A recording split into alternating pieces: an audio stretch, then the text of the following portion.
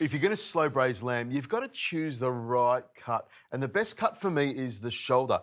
This is actually the shoulder blade. It's a piece of meat that does a lot of work. So when you braise it nice and slowly, it becomes succulent and delicious. You're loving that, aren't you? Well, I love the way you talk about meat. To me, this is beautiful. Now, I'm just going to score it through here with a knife and just give it a couple of deep grooves here. What I want is the flavour to penetrate the lamb. You want that flavour... In the meat. Exactly, in the meat where it belongs. So I just cut it all the way across there like that. A good sharp knife does that. Now we've got to season it up and add flavour. Mm. I like a little bit of cumin mm. and just a little sprinkle of that on the top here. And yes. you can see I'm using like a, a tray. I want to catch all the marinade in here. Okay. And normally I would marinate this for, you know, at least overnight, possibly two days. Go for it. Do it. Load it on there. Go load on. it on there. Okay. And then I've got some oregano. You can use marjoram yes. as well. The... That is Greece for me. That is a Greek flavour. Oregano, lemon. Exactly, yes. exactly. Now, rosemary is such a Greek thing. I just pull it straight off like this, and I never buy rosemary because I know where all of the rosemary plants are and I'll just go around there with so my... So do I, Richo, and I've got one in my garden. Oh, so if you were nice enough to me, you might be able to get some rosemary. Well, I walk past in the middle of the night with my little secateurs, pull it out and pop them into my little backpack. Richo's a neighbourhood thief. exactly, exactly. So I bunch it together and you can see I'm bruising the rosemary yes. and that helps to bring out the oils and the flavour. Now grab some pepper over there and I'll grab some salt because mm. you need plenty of salt because salt loves meat, meat loves salt and nothing loves salt more than lamb slow braised mm. in the mm. oven. That's it, beautiful, isn't it? Yeah, it is. And then we just make sure we turn that over as well, season the other side. Exactly, and that's why I've got this tray here because I can ah. scoop up all of this seasoning and pop it on here like this. Now, the next stage here is we're going to seal this off in a hot pan. We want to brown it off so we get that caramelization, that Maillard effect on the outside of it, and that's what makes it taste good. So, over to the hot pan. Now here's my trick. The pan is really hot, so I put the lamb straight in there and then pour the oil in. So what's the reason for that? Well, if you've got a really hot pan and then you've got something heavy like a lamb shoulder, you drop it, you can splash yourself. It's yes. really dangerous. OK, we'll get rid of this tray here. Perfect.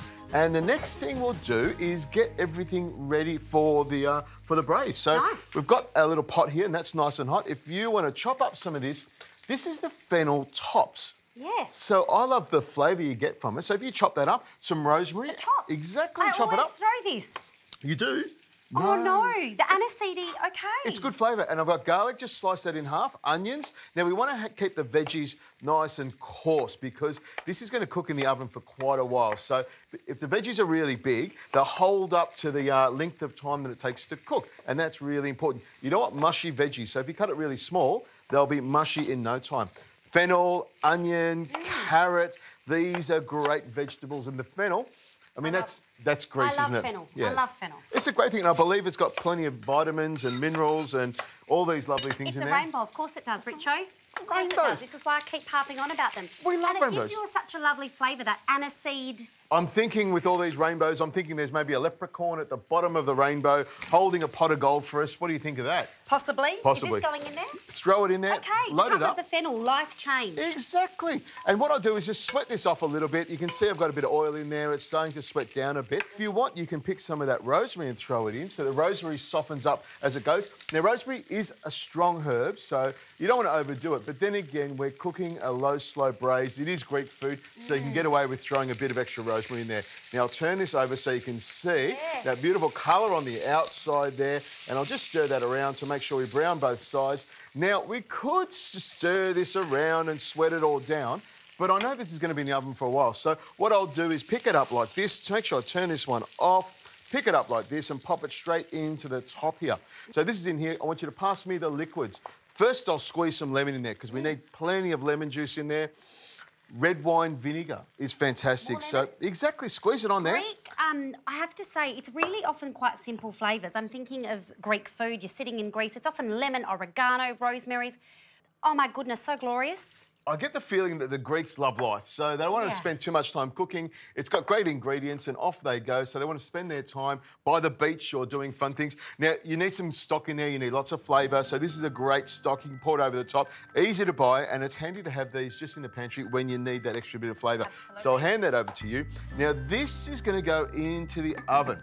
I'm going to cook it at 160 degrees Celsius for about three hours, sometimes a little bit more, sometimes a little bit less, depending on the oven and the lamb, etc. But what I look for is when I take the lid off, I give it a bit of a poke, and if it falls apart, then I know it's cooked. You want to catch it just as it's falling apart. So into the oven, 160 degrees Celsius, and we'll get this cracking.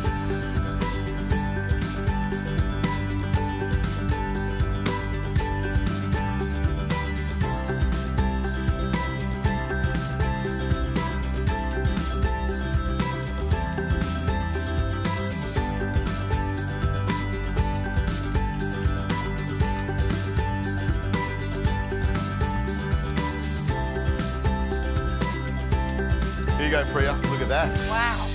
Smells fantastic. It does. It does. Three hours later.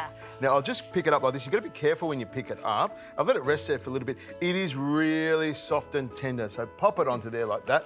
And if you want to, you can take the lid off about half an hour before you take it out of the oven, and that will dry out the top of it and crisp it up a little bit. But I like to keep it like this, nice and moist over the oh, top. Oh, wow. Veggies on top. Yes, load it Wow. up. Well, the veggies have been slow cooked. They're they're going to taste ah. like the lamb, and all the juices in there are really important. This is beautiful. And of course, we've got a lovely little fresh salad here because we've got the heavy braised lamb. You know, it's got a lot of big flavours in there. So to lighten it up and freshen it up, you know, you can have a little salad on the side. But I like to just bring it to the table mm. with a little garnish of uh, herbs and fennel on the top of it, lots of lemon juice and mint and all those nice things. A bit some rosemary, maybe even some oregano in there. And that's a cracking dish. That's fantastic, isn't it? it is. Wow. We're gonna You tuck into just- We are. I'm ready. Go All for right, it. I'm just going to peel it. And this is what I want to show you. It just mm. falls apart. The meat is so tender, it just comes apart so easily. Mm. The flavours in that are beautiful. You've literally taken us to Greece. I love this freshness on top. And I can imagine that on the dinner table. I think I might steal this one.